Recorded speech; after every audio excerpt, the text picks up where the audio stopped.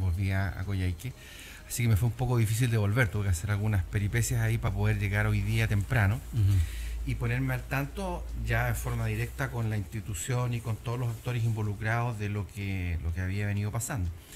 Eh, en esa lógica me junté con el equipo de pediatras, eh, me junté de los pediatras que, que estuvieron involucrados en esta situación, por supuesto, también lo hice con el equipo de la UTI, recién hace poco inaugurada, que también fue parte de este proceso.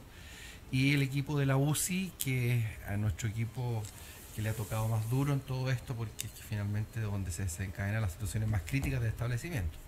Por supuesto que el ambiente en general es de mucho pesar, de mucha congoja, de mucha pena, eh, y de todos los directivos, de todos los profesionales, los técnicos, en una situación que nos ha llevado a, estos días. Mientras yo volvía acá, empecé a tomar contacto con distintos actores para ver de alguna forma cómo podíamos eh, ir asumiendo algunas actitudes y algunas condiciones que nos permitan eh, aclarar lo que ocurrió acá, si es que hubo alguna responsabilidad desde el punto de vista de la falta de atención, de la pérdida o el no cumplimiento de algún tipo de protocolo o la, no actuación adecuada de algún miembro del equipo de salud.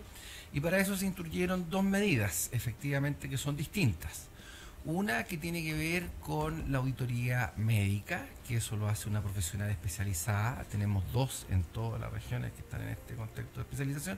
Nosotros tenemos una que, es una médico que se, se ha preparado para esto y que tiene que hacer todo el análisis eh, de todos los antecedentes clínicos y de registros que dan cuenta del proceso de atención desde las hojas de enfermería donde están determinados lo que se registró, que lo registró en la ficha, en la ficha clínica en tantos registros médicos, las decisiones que se van tomando, eh, en qué momento el niño recibe su primera, su segunda o tercera atención, eh, si son coherentes con la práctica médica, el ex artis de la medicina, si todo lo que se ha venido haciendo corresponde de alguna manera a, eh, a un actuar consistente y dentro del marco de las normas que rigen las conductas clínicas que aquí proceden.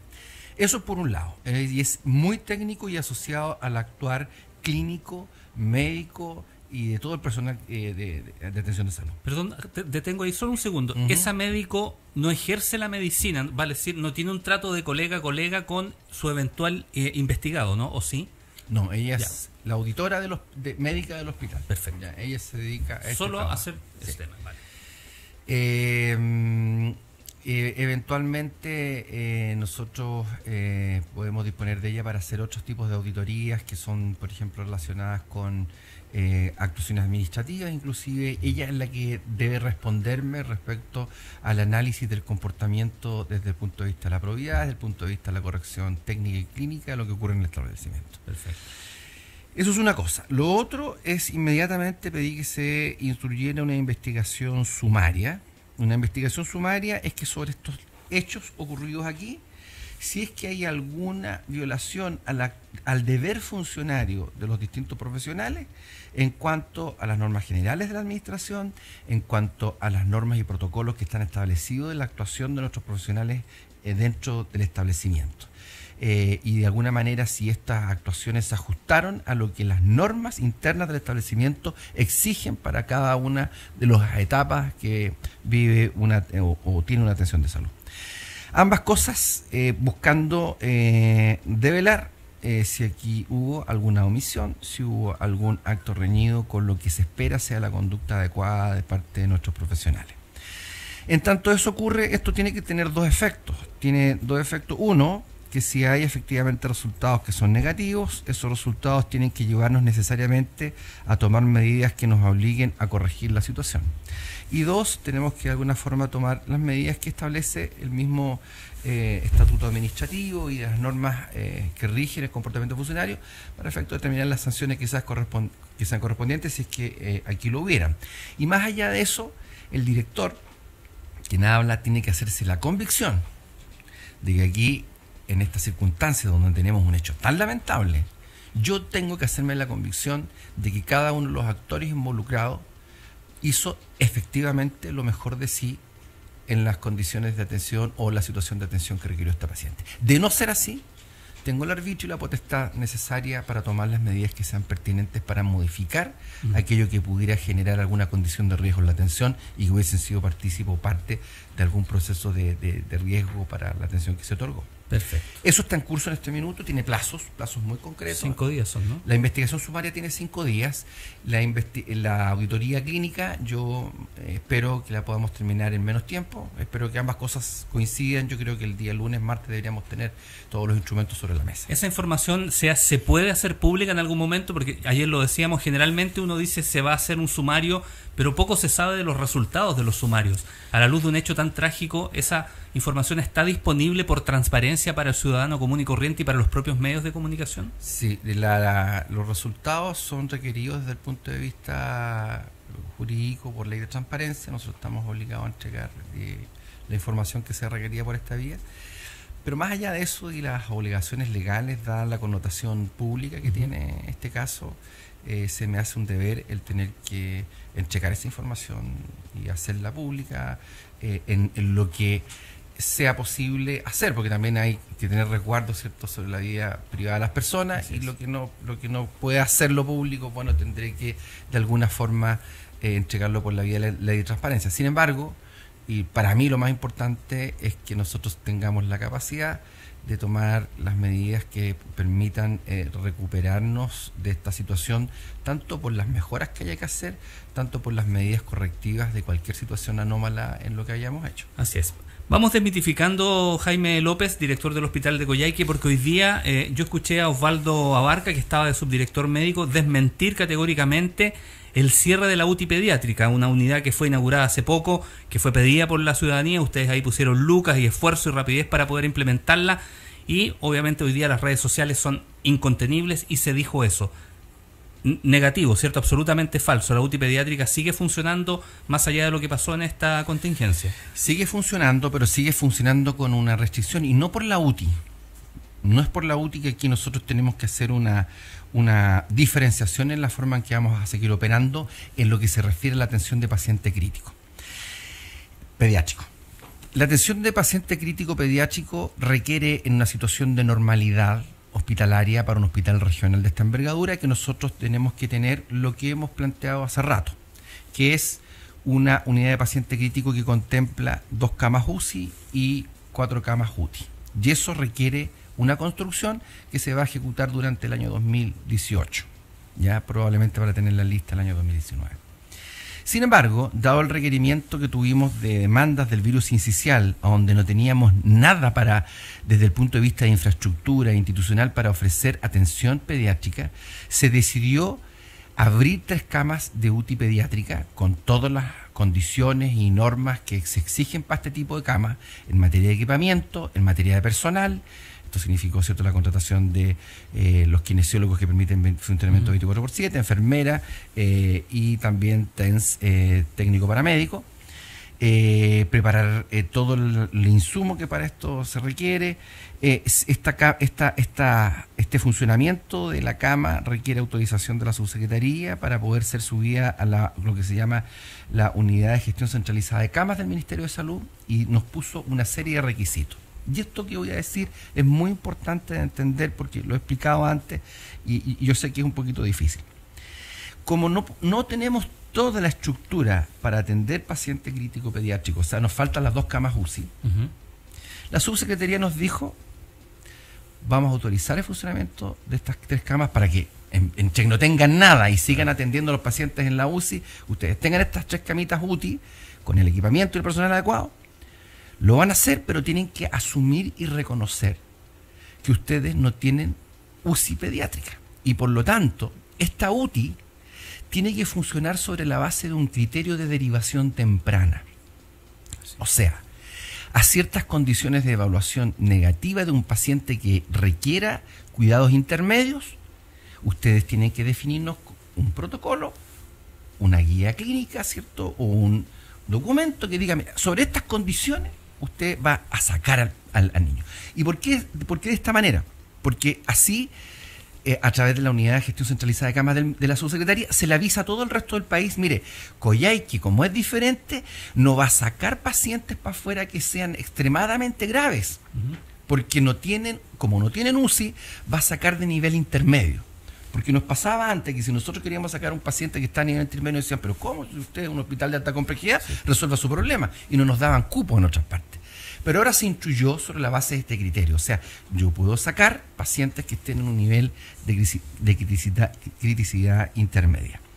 Ese protocolo, que está en una fase de hoy día de guía técnica, orientación técnica, porque lo hemos estado trabajando con el Ministerio. Nosotros ya le presentamos la última versión y tenemos la aprobación por parte del Ministerio, que fue con lo que partimos nosotros para efectos de poder echar a andar esta UTI.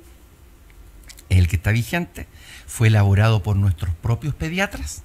O sea, nuestros propios pediatras dijeron, este es el límite hasta el cual nosotros llegamos y de aquí para adelante no asumimos, más riesgo. Esto hay que ahora evaluar en estas condiciones qué es lo que, qué es lo que pasó. Entonces, se nos autorizó a funcionar con este criterio, con este criterio autoimpuesto por nosotros, negociado con la subsecretaría, eso nos autorizó. Pero dada esta contingencia, hemos acordado con la misma subsecretaría, mire, vamos a bajar el nivel de riesgo. Y todo paciente que llegue a la urgencia del hospital regional, menor de tres meses, que requiera o tenga requerimientos mayores a una cama pediátrica básica, o sea, UTI, en la urgencia yo lo saco para afuera. No espero hacer una evaluación en la UTI, sino que lo saco para afuera. Y la UTI, usted la va a seguir ocupando para esperar el traslado de ese paciente que sabemos que puede ser entre 6, 12 horas, 3 horas. Usted prepara y maneja al paciente para trasladarlo. Pero no genera un esquema de tratamiento en la UTI para tratar de ver si puede revertir. No, usted lo evalúa en la urgencia como un paciente que requiere más allá de lo que se puede dar tras de una cama básica pedir. Inmediatamente, desde la urgencia, usted pide el traslado para afuera. Oiga, que eso va a requerir más recursos, más para, no importa. Pero ustedes como hospital regional, mientras no desvelen qué ocurrió en la situación del paciente del evento Centinela, o alternativa, no cuenten con un intensivista pediátrico que sea capaz de avanzar un poquito más en el riesgo del tratamiento, en el nivel intermedio, que se los vamos a proveer en su momento, ustedes aplican este criterio. Y ocurrieron las dos cosas. Entonces yo hoy día lo he instruido con cada uno de los equipos, la urgencia, la UTI, la UCI, el servicio de pediatría. En, en el servicio de urgencia, si se evalúa el requerimiento para un paciente que sea más allá de la cama básica pediátrica, ese paciente se va a sacar. Nosotros el próximo martes, para no hacer de esto algo eterno, estamos recibiendo el apoyo de tres médicos intensivistas pediátricos que vienen de el Sótero del Río y del Calvo Maquena, para acompañarnos durante la próxima semana hasta que entra otro equipo en el que hemos calendarizado con la subsecretaría, donde prácticamente tenemos cubierta nuestra nuestro, nuestra asesoría en materia de, eh, de, médico intensivista pediátrico hasta el mes de marzo del 2018. En tanto ocurre también, en paralelo, yo acabo de hablar con eh, un médico que es el médico jefe de la unidad de paciente crítico del Hospital Las Higueras, es un médico pediatra, también intensivista, eh, que nos ha manifestado su voluntad de trasladarse a la región la próxima semana él viene con su señora a evaluar el tema de colegios, vamos a tener la conversa del momento en que él se vendría para acá para hacerse cargo en definitiva de esta unidad y este proyecto de atención de pacientes críticos. ¿Viene a reforzar al equipo o él viene ya a radicarse? Viene a radicarse. Ah, él, él, viene a radicarse. ¿Sería el primer intensivista pediátrico? Sí, y el, año, el próximo año nosotros por, eh, por por formación de profesionales que tenemos en este momento en formación y que tienen que hacer su devolución a la región, vamos a recibir una segunda intensivista pediátrica recién salida de su beca, que ya estaría con nosotros, entiendo, en el mes de abril. Y en el año 2019 llega una segunda intensivista. En el intertanto, igual nosotros seguimos buscando médicos pediatras que nos refuercen el equipo. Nosotros eh, efectivamente tenemos de una dotación de médicos residentes de pediatría, eh, tenemos seis, médicos que son efectivamente pediatras certificados y los otros seis son médicos que ejercen pediatría, entre ellos un médico de familia, que no por ello hacen, mm, hacen un, más su En Chile no existe el ejercicio regulado para estos efectos eh, por la vía de, las especialidades médicas. Eh, un médico de familia que ha trabajado con nosotros, el doctor Lemus es un excelente profesional que de hecho estuvo vinculado a un muy buen manejo en, la crisis del virus social y a él le gusta la pediatría. Pero nosotros creemos y estimamos que es nuestro deber agotar los medios por completar ese equipo trayendo la mayor cantidad de profesionales que tengan la certificación de pediatría para completar ese equipo de residencia y en el caso de la unidad de paciente crítico pediátrico tener un médico intensivista pediátrico eh, como jefe técnico. Perfecto. Frente a una contingencia tan adversa, me imagino que se remesen las bases de los distintos estamentos Jaime, del médico, del técnico y de todos quienes están trabajando en el hospital, porque me imagino que a todos les afecta. Hay que hacer ahora un trabajo de recomposición de ese sentido de unidad, de ese sentido corporativo. Que, ¿Cómo se aborda una, una emergencia como esta, una, una tragedia como esta a nivel más íntimo, a nivel de equipo, por llamarlo de alguna manera? Mira, estamos trabajando en varias líneas de acción. Una con el apoyo de profesionales de la salud mental que han estado trabajando principalmente con el equipo de la UCI nuestra, la UCI adulto, que es donde se, caen a los episodios, las situaciones más complejas, un equipo que ha estado sometido a una tremenda carga atencional y emocional producto de toda esta situación. Eh, lo mismo estamos haciendo eh, con el equipo UTI, eh, y también la misma dirección, en eso nosotros como equipo tenemos que ser lo suficientemente fuertes como para poder reunirlos a ellos, convocarlos, escuchar sus planteamientos, acoger las propuestas que ellos tengan. Ellos, cada uno de estos equipos, tanto el servicio, los médicos que trabajan en pediatría, nuestros equipos eh, que trabajan en la UTI, enfermeras, kinesiólogos, nuestros equipos médicos de kinesiólogos y enfermeras que trabajan en la UCI, todos ellos tienen experiencia y tienen aportes que nos pueden ayudar a mejorar y por sobre todo, el esfuerzo que nosotros tenemos que tratar de hacer es darle una mínima seguridad de que en los pasos que ellos puedan dar, efectivamente no se vean expuestos nuevamente a tensiones tan fuertes como la que significa en definitiva enfrentarse a, la muerte o al fallecimiento de un paciente, que es algo eh, muy demoledor. demoledor.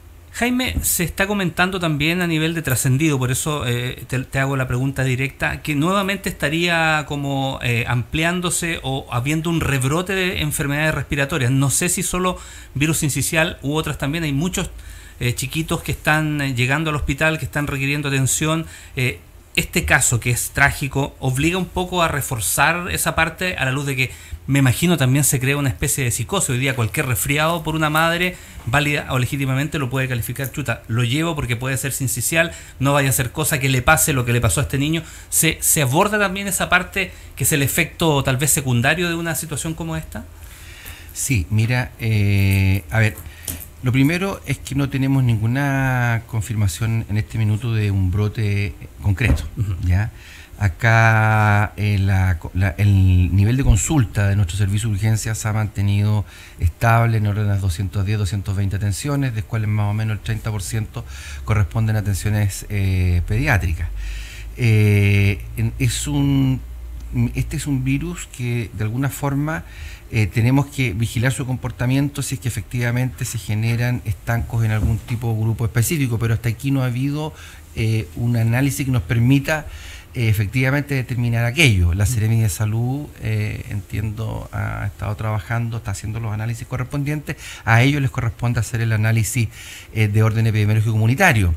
Sin embargo, yo te puedo decir que a nivel de consulta pediátrica, esta se está manteniendo relativamente estable. estable. Pero tomamos una medida especial con respecto a esta situación, porque como todavía no tenemos una claridad que nos pueda permitir decir estamos con una situación de brote y no queremos exponernos a nada, a ningún tipo de sorpresa, eh, le he instruido al jefe del servicio de urgencia que la sensibilidad respecto a la hospitalización de paciente pediátrico que presente cuadros eh, bronquiales, obstructivos, diarreicos, virales, sobre la base eh, del estándar que ellos tenían de dos controles, se baja uno. O sea, si hay un niño que presenta un cuadro que se, se considera puede ser manejado porque no presenta todavía un estado febril, y en el primer control se ve que no hay ninguna evolución, ese niño se va a pedir su Se bajan los estándares. Se, se, bajan los estándares, lo que nos va a hacer que va a aumentar la hospitalización. Por lo tanto, estamos preparándonos para ello. Eh, esta es una época donde tradicionalmente la demanda tanto en adultos como en niños aumenta por distintas razones, razones estacionales que tienen que ver con las alergias, con otro tipo de virus, con la influenza. Eh, así que más allá del análisis epidemiológico, hoy día, ante este eh, evento centinela, estamos levantando la guardia. Reforzando todo. Reforzando todo lo que. Previniendo. Mm. Hoy día el doctor Abarca daba cuenta, y es una realidad que nadie la desmiente, de lo difícil que es de repente eh, generar un traslado. Se tienen que dar muchas, muchas variables, entre ellas la meteorológica. Cuando se evacúa un niño en esta coyuntura que estamos abordando, ¿a quién se, eh, se le solicita esto? ¿A un hospital que está en qué parte de Chile por el tema de la distancia y del tiempo? ¿O eso es una decisión que no es resorte del hospital, porque dijo el padre del pequeño que murió que se había dicho que el avión que lo tenía que sacar llegaba a las 11, finalmente llegó a la 1 de la tarde. ¿Cómo, se, cómo se, se, maneja logísticamente un traslado? ¿Se le lleva al hospital de mayor resolutividad más cerca? ¿Se le lleva necesariamente a Santiago? ¿Cómo es esa, ese manejo?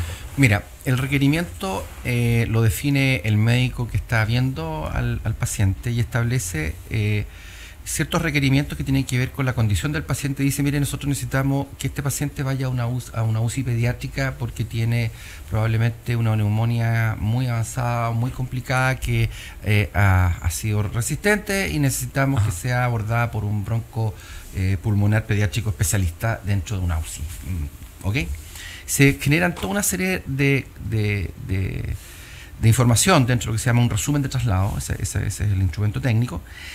Con eso eh, nosotros eh, lo ingresamos a un sistema nacional, que es la unidad de gestión centralizada de camas, que se maneja desde Santiago, de modo tal de que donde haya una cama disponible en el país para que pueda recibir bajo esas condiciones y esos criterios técnicos al paciente, que funciona 24 por 7, inmediatamente se le asigna la cama al requerimiento. Ahora, dependiendo de la época, no siempre tenemos disponibilidad de cama. ¿ya? Y eso hace que a veces tengamos ciertas demoras.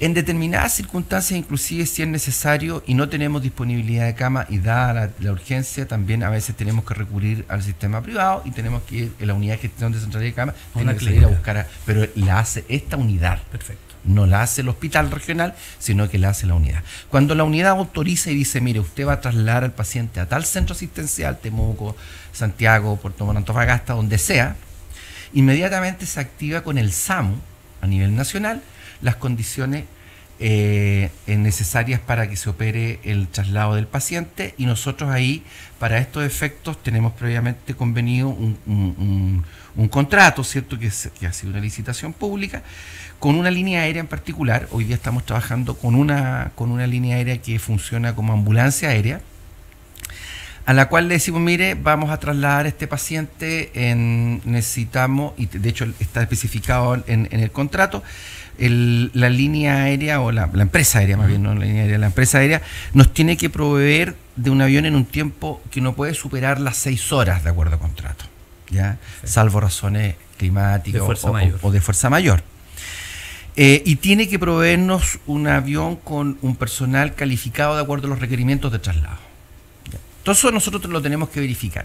No siempre esto funciona porque eh, en el caso nuestro de Aysén las condiciones climáticas a veces nos juegan de manera adversa. También a veces las empresas, que son pocas, están siendo demandadas en otras partes y tienen más demora de la que permite el, contrato. el contrato. Y de hecho a mí me ha pasado en algunas oportunidades que se han pasado las seis horas yo a las tres horas tengo que tener una definición a qué hora va a llegar el avión. Si a las tres horas yo no tengo una definición, me empiezo a poner nervioso. Entonces, decidimos un criterio que está acordado con ONEMI, con el Servicio de Salud, con el SAMU y con, eh, estos actores, fundamentalmente, que es el siguiente. Si yo a las tres horas no tengo la confirmación de que venga un avión, el avión de la empresa que tenemos nosotros contratada, quedo en libertad de acción para buscar otras líneas aéreas disponibles que pudieran venir más rápido. Bajando estándares, sí. Por ejemplo, la FACH. No. No, no, no, bajando, sino que buscando en el, marco de la oferta de, las ambulancias aéreas que existen a nivel nacional.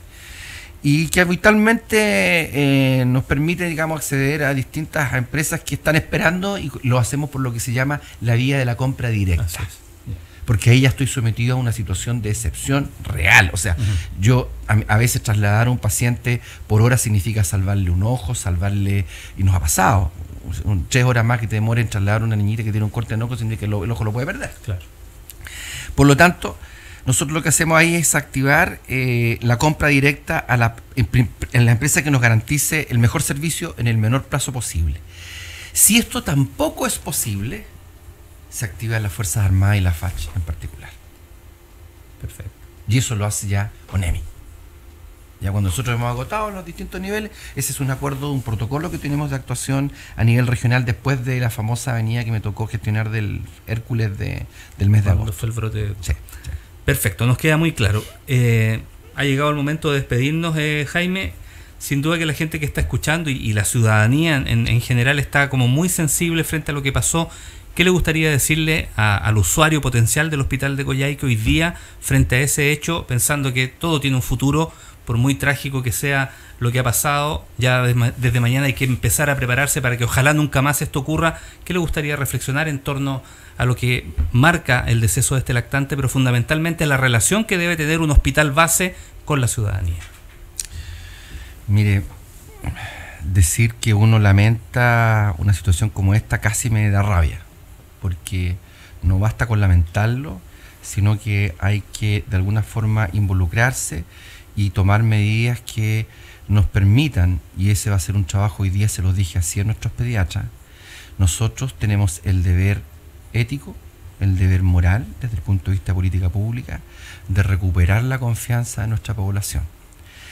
Y esa, ese recuperar la confianza eh, es un trabajo que va a ser difícil este deceso no lo va a olvidar la población tan fácilmente. Por lo tanto, tenemos que agotar los medios que nos permitan, primero, clarificar si aquí hubo algún tipo de falta de parte nuestra, sincerarla, comunicarla, tratarla y tomar las medidas efectivas que nos den garantía de que esto no ocurra. Segundo, ser transparentes en todo lo que hacemos respecto a nuestras capacidades, no permitir que nos consuman ni la soberbia institucional ni las soberbias personales, sino que avanzar hasta a un estado real de seguridad en lo que somos capaces de hacer. Y en eso los directivos poner todo nuestro empeño por cumplir con lo que hemos prometido. Nosotros, yo lo dije hace un tiempo, dimos el primer paso con la UTI, pero este es un primer paso que requiere completarse con todo el proyecto de la atención pediátrica que hoy día está eh, a media. Y además, con el esfuerzo que amerita el poder contar con nuevos profesionales, con un, con un, con un, con un set de profesionales completo. Si también es cierto que de alguna manera nuestros profesionales se ven muchas veces exigidos de una manera poco razonable. O sobreexigido. O sobreexigido. Y eso es base también para que se cometan errores. Entonces, tenemos todas responsabilidades. Aquí yo, independientemente del resultado que puede dar luces de algún problema en alguna actuación o no, todos tenemos una responsabilidad en lo que ha pasado y todos tenemos una responsabilidad en recuperar la confianza y en seguir avanzando en mejorar la capacidad de la institución Hospital Regional Coyhaique. Pero por sobre todo, y aquí yo quiero pedir, la comunidad tiene que entender que no podemos quemar el hospital, no podemos, podemos tener problemas, pueden haber distintos errores que se cometan. Es el hospital que tenemos, tenemos que de alguna forma hacer la fuerza y ser sobre todo vigilantes y fiscalizadores como ciudadanos de que vayamos efectivamente mejorando. Yo creo que eh, tenemos que darnos la oportunidad, tenemos condiciones especiales. Este, este, este, establecimiento, piensa tú que es el único hospital del país que no tiene unidad de paciente crítico pediátrico. Si todavía le cuesta a la gente creerlo afuera.